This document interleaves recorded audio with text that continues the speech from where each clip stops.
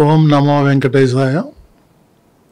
ఈరోజు ముఖ్యమంత్రి శ్రీ నారా చంద్రబాబు నాయుడు గారు పిలుపు మేరకు నేను వెళ్ళి అమరావతిలో వారిని కలవటం జరిగింది.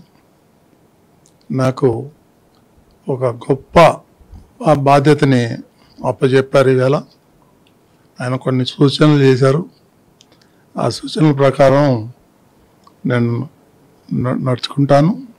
అదేవిధంగా నాకు ఈ అవకాశం ఇచ్చినటువంటి చంద్రబాబు నాయుడు గారికి పవన్ కళ్యాణ్ గారికి మరియు నారా లోకేష్ గారికి పురంధేశ్వర్ గారికి ఎన్డీఏ పెద్దలకి అందరికీ నా యొక్క హృదయపూర్వక ధన్యవాదాలు.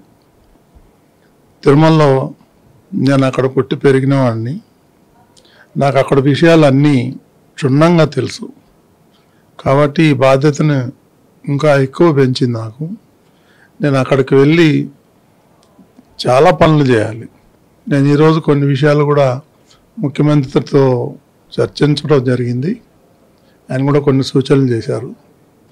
తర్వాత పదవి బాధ్యతలు స్వీకరించిన తర్వాత మళ్ళీ ముఖ్యమంత్రితో గారు చర్చించి కొన్ని నిర్ణయాలు తీసుకొని తిరుమలని ఎలా బాగు చేయాలి భక్తులకు సౌకర్యం ఎట్లా చేయాలి? దర్శనం ఎలా చేయాలి? ఇవన్నీ కూడా క్షుణ్ణంగా అధ్యయనం చేసి అది బోర్డు మీటింగ్లో పెట్టి అవన్నీ సక్రమంగా నా పద్ధతుల్లో చేద్దామనేటువంటి నా ఆశయం అభిమతం. నాకు ఇది పూర్వజన్మ సుకృతంగా భావిస్తున్నాను. ఈ బాధ్యత ఎంతో నిజంగా నా ఆనందానికి అవధులు లేవు.